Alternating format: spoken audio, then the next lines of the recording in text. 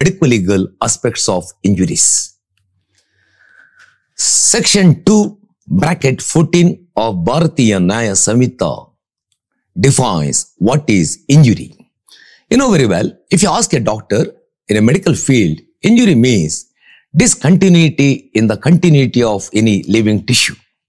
But as per law, injury means any harm, whatever illegally caused to any person in body, mind, reputation, or property.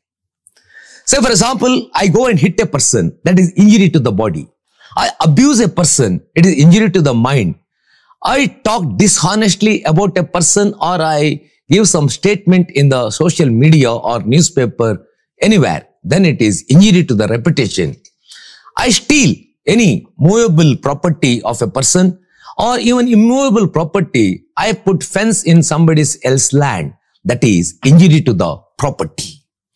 Now, what is section 114 of Bharatiya Nyaya Samhita? 114 of Bharatiya Nyaya Samhita defines what is hurt. Hurt means bodily pain, disease or infirmity caused to any person. And infirmity means weakness. This weakness may be mental weakness or physical weakness. Say, for example, if I hit a person, bodily pain, I take a syringe which is having HIV positive blood and inject it to somebody else. I am causing disease into somebody else's body. At the same time, weakness. Say, for example, I call a person for dinner. As soon as he comes, I lock him in a room. I don't feed him anything. Then he gets physical weakness. What about mental weakness?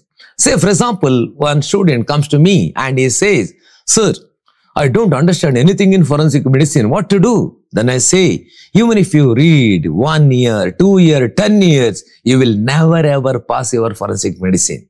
That means I may give him mental weakness. All these come under hurt.